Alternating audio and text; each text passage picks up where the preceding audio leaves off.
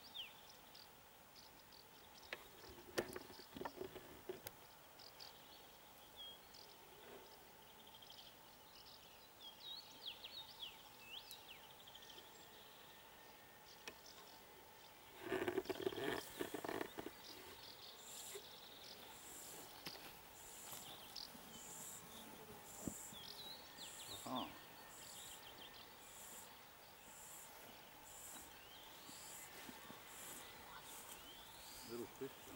感んだと。